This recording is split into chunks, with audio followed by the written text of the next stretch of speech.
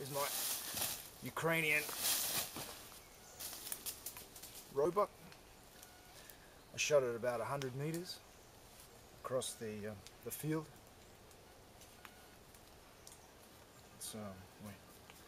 he's losing his summer hair, winter coat coming out, thin after the rut, but uh, beautiful horns, heavy. Not uh, not really that long, but fantastic, fantastic head.